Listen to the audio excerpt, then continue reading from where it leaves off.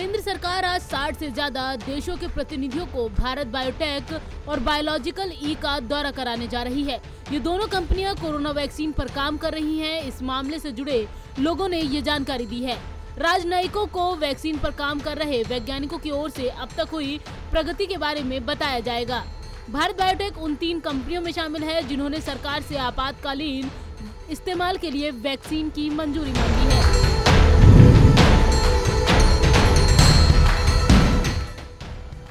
देश में नवंबर में बढ़ी कोरोना मरीजों की संख्या फिर तेज़ी से कम हो रही है।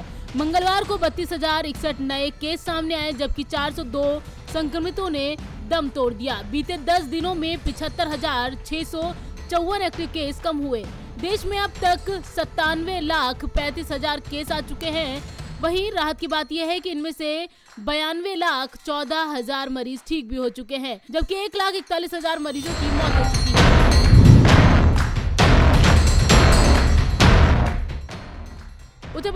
मुख्यमंत्री योगी आदित्यनाथ के निर्देश पर कोविड 19 के वैक्सीन को लेकर मुख्य सचिव ने मंगलवार को बैठक की। मुख्य सचिव राजेंद्र कुमार तिवारी ने बैठक में कई दिशा निर्देश जारी किए। कोरोना वैक्सीन के सुरक्षित ट्रांसपोर्टेशन और स्टोरेज को लेकर उन्होंने अधिकारियों से दो दिन में प्लान मांगा है। मुख्य सचिव ने इसके साथ ही वैक्सीन लगाने के लिए स्वास्थ्य कर्मियों के ट्रेनिंग प्रोग्राम की भी डिटेल तलब की है।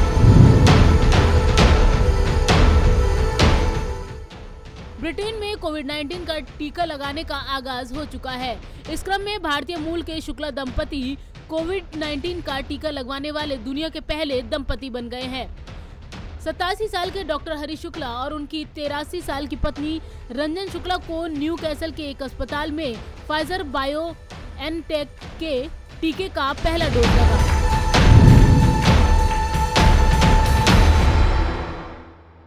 दुनिया में कोरोना मरीजों का आंकड़ा 6 करोड़ पिचासी लाख के पार पहुँच गया है। राहत की बात यह है कि 4 करोड़ चौहत्तर लाख से ज़्यादा लोग ठीक भी हो चुके हैं।